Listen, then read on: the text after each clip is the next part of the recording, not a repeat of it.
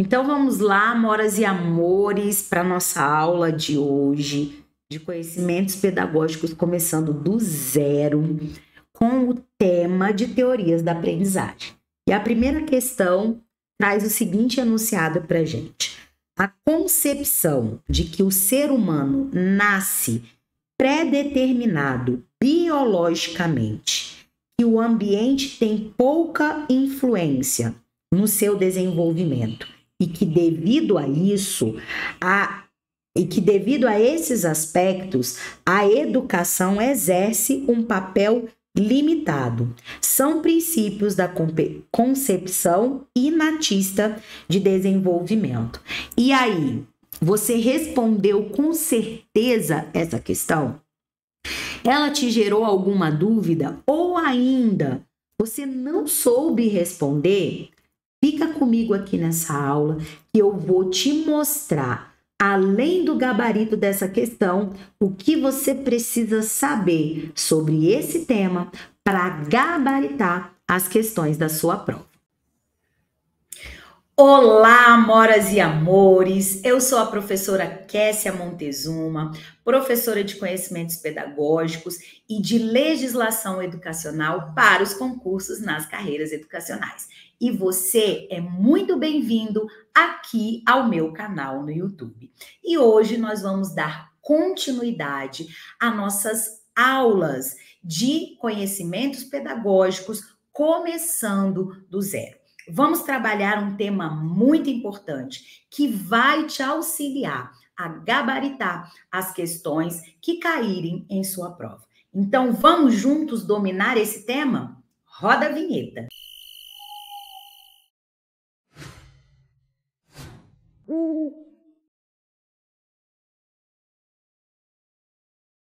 Então vamos lá, amoras e amores, vamos ver qual é o gabarito dessa primeira questão que nós estamos abordando com vocês as teorias da aprendizagem. Eu vou reler a questão para vocês para a gente poder fazer uma análise melhor sobre o que a banca cobrou de você sobre esse conhecimento. A concepção de que o ser humano nasce predeterminado biologicamente, que o ambiente tem pouca influência no seu desenvolvimento e que, devido a esses aspectos, a educação exerce um papel limitado, são princípios da concepção inatista de desenvolvimento. E aí, gente, essa questão, ela tá certa ou ela está errada? Ela está o quê? Correta, né? Que o quando quando questão correta. Quando o indivíduo nasce pré-determinado, essa é a centralidade de uma concepção inatista. Por isso é que é essa nomenclatura.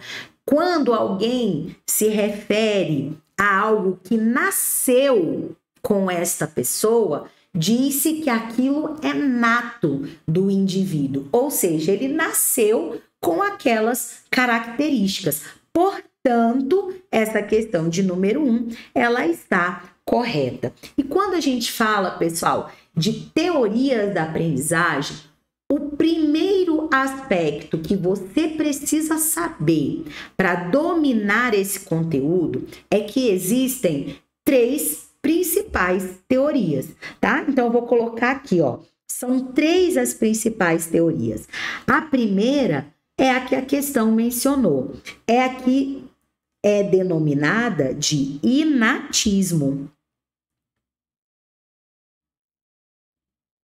Ou seja, o indivíduo nasce. Então, nessa teoria, nasce pré-determinado biologicamente. Então, aqui, o que prevalece é a condição biológica desse sujeito, orgânica, tá? Então, por isso é, aqui deixa eu botar assim, ó, biológico. É o que predomina nessa teoria ok? Depois nós vamos ter uma teoria que é completamente ao inverso dessa, que é denominada de teoria ambientalista.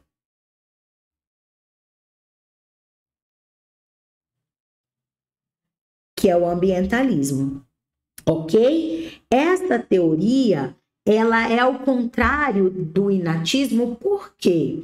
Porque no ambientalismo, o que é, exerce primazia, ou seja, ocupa o, pra, o papel central no desenvolvimento dos indivíduos, é o meio. E esse meio a gente vai entender como ambiente, onde essa pessoa, esse sujeito, é, se relaciona, tá? Que ele convive. Por isso que é o ambientalismo. E a terceira teoria aqui, dessas que vão orientar e vão direcionar a compreensão do desenvolvimento humano, se chama a teoria interacionista. Então, é o interacionismo, tá? Aqui, ó, vai existir a soma do biológico mais as influências do meio. Aqui, tanto uma condição quanto a outra, ou seja, a biológica quanto o meio, vão juntas desenvolver ou aí estabelecer os processos que esse indivíduo vai aprender. Então há um equilíbrio entre o biológico e o meio. Então saber quais são as características de cada uma dessas teorias vai te ajudar e muito a compreender, num primeiro momento, tudo que envolve as teorias da aprendizagem, quanto acertar as questões que aparecerem na sua prova, tá bom? Vamos para a questão de número 2. Olha que, que a questão está trazendo aqui para gente. Uma das bases psicológicas da aprendizagem é o interacionismo, que está ligado à ideia de interação entre os fatores biológicos e sociais. Dois pensadores que defendem essa ideia são Piaget e Vygotsky. E aqui, ó, tá certinho, tá? Tudo corretinho. Trouxe a centralidade da teoria que envolve a concepção interacionista, ou seja, é essa aí ligação, tá aqui, ó, essa ligação, essa interação entre os fatores biológicos e sociais. Esses sociais aqui está relacionado ao meio social, ao ambiente onde essa pessoa está inserida e trouxe aí os representantes dessa teoria. Além desses dois, nós vamos ver mais para frente também que pertence aos é, autores teóricos dessa base psicológica que é o interacionismo, nós vamos ter também o Valon, ok? ele também pertence a esse grupo dos interacionistas. Vamos lá para a nossa questão de número 3. Em sua teoria, Piaget afirmou que a inteligência humana é principalmente determinada pela genética, ou seja, pelos fatores biológicos, com pouca influência do ambiente. Dessa forma, não se daria muita importância à interação entre o organismo e o meio ambiente. Aí essa questão de número 3, ela vai estar tá errada, tá bom? Porque nós vimos na questão anterior que o Piaget encontra-se como um teórico que defende as características da, do desenvolvimento que interacionista. Então, quando a questão afirma pouca influência do ambiente, não.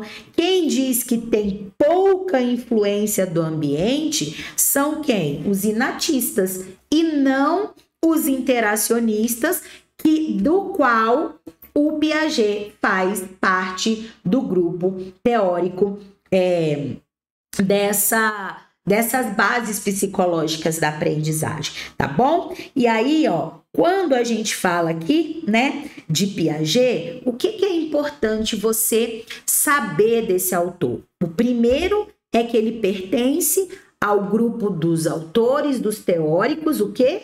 Interacionistas, ok? Então, é biológico mais meio.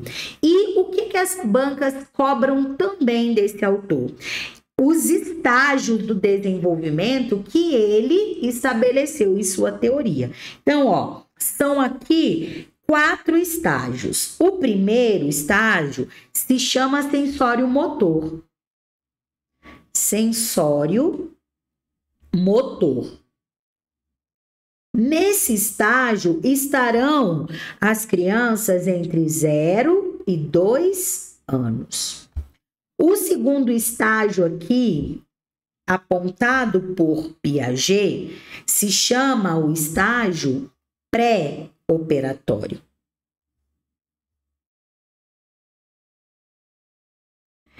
Esse estágio estarão as crianças de 2 a 7 anos. Vamos ter o terceiro estágio aqui, definido por Piaget, chamado de operatório concreto. Nesse estágio estarão as crianças na faixa etária de 7 a 12 anos. E o último estágio, segundo Piaget, do desenvolvimento se chama operatório formal. Esse estágio vai abranger as crianças a partir de quantos anos? 12 anos. Então, de 12 anos em diante, as crianças estarão, ou os sujeitos estarão, no desenvolvimento da aprendizagem na fase do operatório formal, tá bom? Então, além de saber essas idades que corresponde a cada um desses estágios do desenvolvimento, segundo Piaget, você precisa saber o que caracteriza cada um desses estágios além da faixa etária que os indivíduos estarão presentes em cada um deles. E aí, se você não sabe ainda, se você sabe, mas quer se aprofundar nesse conhecimento, você precisa acessar a plataforma de estudos Pedagogia Total. Essa plataforma que tem uma metodologia diferenciada para você, que está se preparando aí para um concurso da carreira educacional, ok? Nessa plataforma você vai encontrar módulos para tratar dos principais temas cobrados nos editais da educação. Dos conhecimentos pedagógicos, um módulo que vai tratar das legislações educacionais, teremos um módulo para trabalhar é, as bancas que mais ganham os certames para é, elaborar os concursos das carreiras educacionais. E vamos ter um módulo também que vai tratar de simulados por temas. Então, você não pode perder a oportunidade de ter acesso a essa plataforma e por um custo-benefício que você não vai encontrar em nenhum lugar, apenas R$ 89,90 você vai fazer um único pagamento, pessoal. É um único pagamento. Você não vai pagar mensalidades, não. Você vai pagar uma única vez, R$ 89,90, e vai ter acesso por dois anos nessa plataforma. E sabe o que é mais legal? Essa plataforma ela não vai se findar ela vai estar constantemente sendo atualizada. Então você vai estar sempre atualizado dos temas que estão sendo cobrados aí nos editais das carreiras educacionais, tá bom? Então, ó, se você quer ter acesso a essa plataforma, clica no link da descrição desse vídeo ou ainda no comentário fixado e já adquire o seu acesso. Se junte a centenas de estudantes que já estão provando dessa metodologia diferenciada oferecida na plataforma e já estão alcançando resultados positivos, ou seja, já estão sendo aprovados nos concursos das carreiras educacionais, tá bom? Vamos seguir então com a nossa questão de número 4, que traz o seguinte aqui pra gente, ó. Segundo Vygotsky, o aprendizado é o responsável por formar a zona de desenvolvimento proximal. Pois quando a criança interage com outras pessoas, ela é capaz de colocar em movimento vários processos possíveis de ocorrer. Então, ó, processos possíveis de ocorrer. E essa questão de número 4 tá certinha. Esse é outro autor que pertence ao grupo das teorias, que é a interacionista, que vai fazer aí a junção do biológico mais o meio. O Vygotsky, ele entende que o meio é influencia bastante na aprendizagem dos estudantes sem desconsiderar o biológico, aquilo que essa criança já tem nas suas estruturas orgânicas, ok? Então, e aí, o que que as bancas costumam muito cobrar do é, a respeito do Vygotsky, aquilo que ele fundamenta na sua teoria. E ele diz que na sua teoria vão existir aí as fases, né? A primeira ele vai, vai denominar o Z de zona, tá? Zona de desenvolvimento, ele vai chamar, desculpa, zona de desenvolvimento real. Ele vai dizer que existe também a zona de desenvolvimento. E aqui eu vou botar assim, ó, porque eu fiz, ó, desenvolvimento, o que? Potencial. E vai também dizer que existe a zona de desenvolvimento, o que? Proximal. Ok? Então ele vai dizer que existem essas duas zonas e que na mediação entre estar na zona de desenvolvimento real e a zona de desenvolvimento potencial vai estar a zona de desenvolvimento proximal, ou seja, aquele movimento em que possíveis processos de aprendizagem podem ocorrer, tá bom? Vamos lá, questão de número 5. É, dentre as teorias da aprendizagem, aquela que integra em um movimento dialético a afetividade, a cognição e os níveis biológicos e socioculturais, ao trazer também contribuições para o processo ensino-aprendizagem, tem como referência os estudos de, e aí nós já temos logo aqui de cara, né?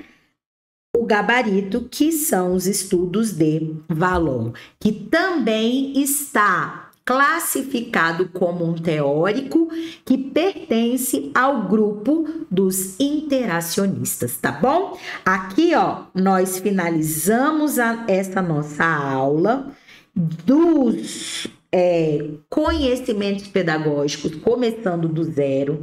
E se você vem nos acompanhando desde o nosso primeiro vídeo, ou ainda assistiu um desses, ou mais de um, mas quer se aprofundar nos conhecimentos pedagógicos, esses que vão é, ser cobrados no seu edital, você que está pretendendo ser aí um servidor efetivo das carreiras educacionais, você não pode perder a oportunidade se você ainda não adquiriu o seu acesso a plataformas de estudos pedagogia total. ok? Lá você vai encontrar módulos de conhecimentos pedagógicos, de legislação educacional, entre outros, que vão aí te ajudar a dominar todo o conhecimento necessário para que você seja aprovado,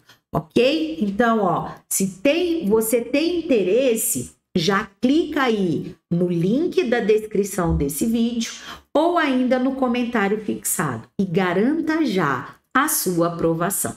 Nós nos encontramos numa próxima oportunidade. Até mais!